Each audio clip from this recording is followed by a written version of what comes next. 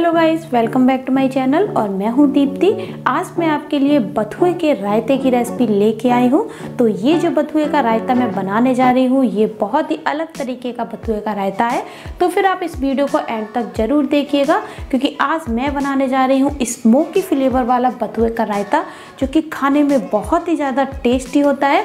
तो इस रेसिपी को आप अपने घर पर बनाना बिल्कुल भी ना भूलें। तो फिर देर किस बात की, चलिए हम वीडियो को शुरू करते हैं। तो बथुए का रायता बनाने के लिए मैंने यहाँ पे 250 ग्राम बथुआ लिया था और बथुए की जो पत्तियाँ होती हैं, उन्हें हमें डंठल से अलग कर देना है और इस तरीके से पत्तियाँ पत्तियाँ हम अलग करके सारा बथुआ तैयार कर लेंगे और उसके बाद साफ़ पानी से कम से कम एक से दो बार हमें इन्हें अच्छे से वॉश कर लेना है और उसके बाद पानी हमें इनमें से निकाल देना है। तो यहाँ पे देखिए बथुए को मैंने रायता बनाने के लिए तैयार करके रख लिया है। रायता बनाने के लिए हम बथुए को बॉईल करके तैयार कर लेंगे।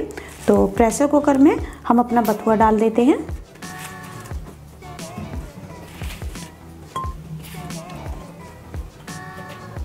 तो सारा बथुआ मैंने प्रेशर कुकर में डाल दिया है और अब हमें चाहिए होगा एक गिलास पानी। अब हम प्रेशर कुकर का ढक्कन लगा देते हैं और हाई फ्लेम पे एक सीटी आने तक हम अपने बथुए को बॉईल कर लेते हैं। सीटी आ चुकी है। प्रेशर कुकर का प्रेशर भी निकल गया है, ये देखिए। तो चलिए हम खोल के अपना बथुआ निकाल लेते हैं। और बथुए को हम पानी से अलग कर लेंगे। इस तरीके से सारा पानी हम इसका निकाल देंगे। और बथुए को हम प्लेट में रख के पहले हम बथुए को ठंडा कर लेते हैं।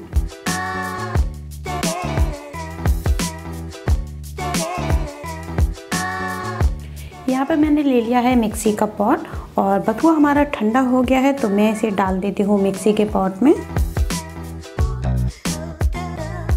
और उसके साथ ही मैंने यहाँ पे दो हरी मिर्च ले ली है और इन्हें भी हम इसमें ऐड कर देंगे। हरी मिर्च को आप कम और ज़्यादा कर सकते हैं। और बथुए को पीस के मैं तैयार कर लेती हूँ। तो ये देखिए, बथुए को पीस के मैंने तैयार कर लिया है। रायता बनाने के लिए मैंने यहाँ पे 500 ग्राम दही ले लिया है।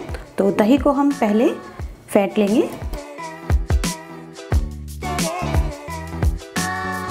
और अब हम अपने दही में थोड़ा सा पानी ऐड कर देते हैं, लगभग हाफ़ ग्लास के करीब, क्योंकि हम इसमें बथुआ ऐड करेंगे तो हमारा जो रायता है, वो काफ़ी गाढ़ा हो जाएगा। और अब हम इसे मिक्स कर लेते हैं। और यहाँ पे मैंने हाफ़ टी स्पून भुना जीरा पाउडर लिया है, इसे हम अपने रायते में ऐड कर लेंगे। और यहाँ पे मैंने half tablespoon raita masala लिया है, इसे भी हम अपने रायते में ऐड कर लेंगे। दोनों को मिक्स कर लेते हैं। रायता मसाला डालने से जो बथुए का रायता है वो बहुत ही ज़्यादा टेस्टी बनेगा। तो आप इसे ज़रूर एक बार ट्राई करिएगा। तो मसाले हमारे अच्छे से मिक्स हो गए हैं। आप चाहें तो यहाँ पे लाल मिर्च पाउडर का भी इस्तेमाल कर सकते हैं। इसमें नमक ऐड कर देते हैं। नमक आप अपने टेस्ट के अकॉर्डिंग ही डालिएगा। फिर से एक बार मिक्स कर लेते हैं। और अब हम अपने दही में पिसा हुआ बथुआ ऐड कर देते हैं। और बथुआ अगर आपको ज़्यादा लग रहा है तो आप रायते में सिर्फ़ उतना ही ऐड करें जितना आपको सही लगता है। जितना भी बथुआ हमने पीस के तैयार किया है, ज़रूरी नहीं कि आप सारा उसमें ऐड कर दें। तो हम इस तरीके से पिसा हुआ बथुआ डालते जाएँगे और अपने दही को मिक्स करते जाएँगे। तो आज जिस तरीके से मैं बथुए का रायता बनाने जा रही हूँ, ये बहुत ही ज़्यादा टेस्टी लगता है और स्मोकी फ्लेवर होने से इसका जो टेस्ट है वो बहुत ही अलग आता है। तो आप इस तरीके से बथुए का रायता एक बार घर पे ज़रूर बनाइएगा। तो अभी भी थोड़ा सा बथुआ पिसा हुआ रह गया है तो बाकी मैं सारा इसमें ऐड कर देती हूँ। तो सारा पिसा हुआ बथुआ मैंने ऐड कर दिया है। तो ये देखिए, हमारा जो बथुए का रायता है, अभी ये तैयार हो चुका है। पर अभी हमें इसमें स्मोकी फ्लेवर लेके आना है तो हम इसे एक तरफ़ साइड से रख देंगे। तो बथुए के रायते में स्मोकी फ्लेवर के लिए हमें एक मिट्टी की हांडी चाहिए होगी और साथ ही हमें एक कोयले का टुकड़ा चाहिए होगा। और यहाँ पे आपको मिट्टी की ही हांडी का यूज़ करना है। अब हम गैस का फ्लेम ऑन कर देंगे और जो मैंने ये कोयले का टुकड़ा लिया है, उसे मैं गैस पे रख देती हूँ।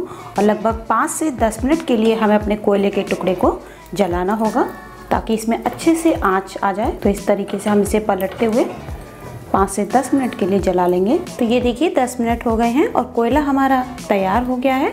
तो मैं गैस का फ्लेम बंद कर देती हूँ। कोयला को हम हटा लेंगे गैस से। कोयले को गैस पर से हटा के मैंने स्टील की प्लेट में रख लिया है और हमें इसको स्टील की प्लेट में ही रखना है। और अब मैं इस पे एक छोटा चम्मच वेजिटेबल ऑयल डाल देती हूँ और उसके बाद हम इस पे जल्दी से जीरा डाल देंगे। लगभग एक बड़ा चम्मच। और जो मिट्टी की हांडी ली है, उससे हम जल्दी से कवर कर देंगे। और इसको हम इसी तरीके से लगभग 10 से 15 मिनट के लिए छोड़ देंगे। तो 15 मिनट हो गए हैं और हमारी जो मिट्टी की हांडी है, इसने स्मोकी फ्लेवर अपने अंदर सोख लिया होगा। इसीलिए मैंने यहाँ पे मिट्टी के बर्तन का इस्तेमाल किया है और इससे हमारा जो बथुए का रायता है, वो बहुत ही ज़्यादा टेस्टी बनेगा। तो चलिए हम इसे खोल लेते हैं। तो ये देखिए कितना बढ़िया स्मोकी फ्लेवर हमारी मिट्टी की हांडी में आ गया है। बहुत ही बढ़िया खुशबू आ रही है। तो हम प्लेट को हटा देंगे और जो रायता बना के हमने तैयार किया है, उसे हम अपनी मिट्टी की हांडी में सर्व कर लेंगे।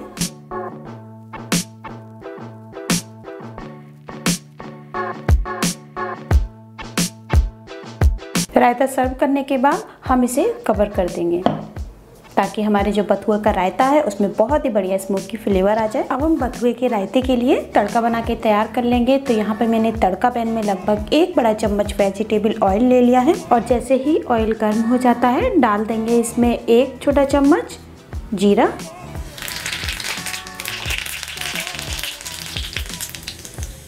आधा छोटा चम्मच हींग।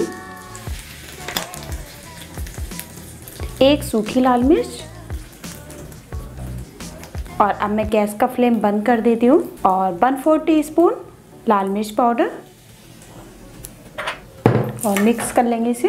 तड़का हमारा तैयार हो गया है। तो हमने जो ये बथुए का रायता बना के तैयार किया है, इसे मैं खोल लेती हूँ। और इसमें मैं डाल देती हूँ तड़का।